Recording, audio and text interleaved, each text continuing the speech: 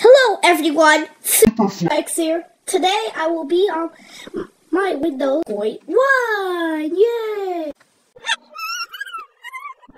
yay!